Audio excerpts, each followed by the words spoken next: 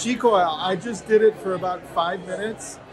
I am giddy, happy. My feet and kidneys are tingling. This is literally the best thing I found so far at, at uh, Biohacking Conference 2022. Really? The best. Because it literally shifted my energy within 30 seconds and it keeps shifting. Like I'm feeling it all through my whole body and I'm extremely happy. Like I'm bubbling with happiness right now with this little machine. Like I feel like I just want to run around like a kid. I feel so good. It's unbelievable. And this is amazing. I love this thing. Wow.